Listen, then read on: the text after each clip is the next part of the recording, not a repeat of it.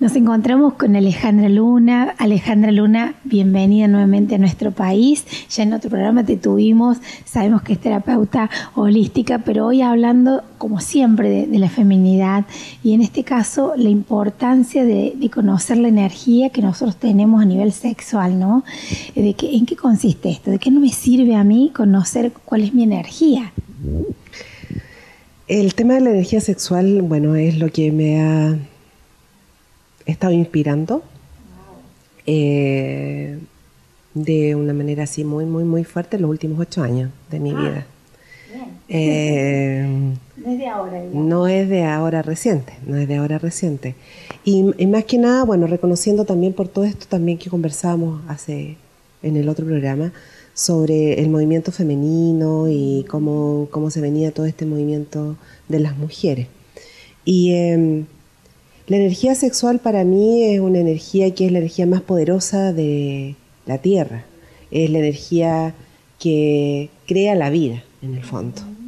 Entonces, por eso quise comenzar a eh, profundizar, porque ya era algo que estaba trabajado en mí, porque obviamente una, persona que está haciendo como un camino de, trabajo consciente, tienes que reconocer todas tus energías toda tu energía.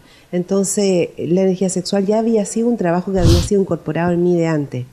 Pero yo comencé a mirar porque esto en particular, porque se dio de que vino como una oleada de mujeres y de personas eh, a trabajar conmigo de distintas áreas, ya sea porque se acercaron terapeutas, porque venían personas a hacerme consultas, y todas tenían que ver con eh, procesos dolorosos de vida asociados al tema del la energía sexual, ya sea por eh, temas de violación, por temas de abuso, por temas de represión sexual, etcétera, etcétera, etcétera.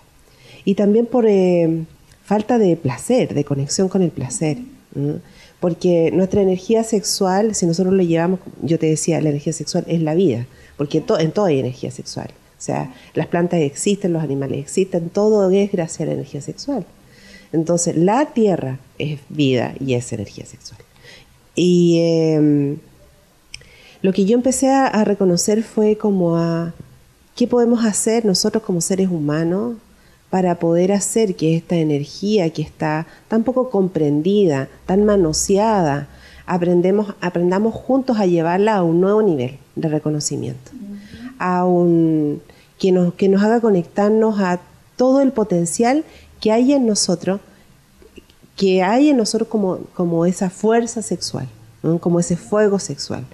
Y así comenzó todo este viaje y bueno, eh, empecé a conectarme con maestros de Tantra, eh, tuve algunas iniciaciones, empecé a explorar en Tantra de Cachemira, em, después trabajé también con respiración ovárica, con respiración alquímica, con Tao, Em, y así diversos caminos. Me fui encontrando con algunas abuelitas ahí en montaña que ya desde sus formas también antiguas hablaban sobre el Yanantin, que es la unión del masculino y femenino, de lo sagrado de la sexualidad, etc.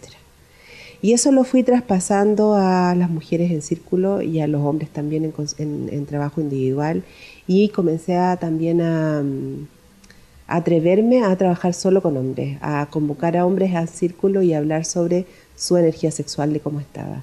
Eh, porque nuestra energía sexual es una de las energías de más baja vibración en nuestro planeta, una de las energías que hace que este planeta se mantenga más en tercera y no evolucione.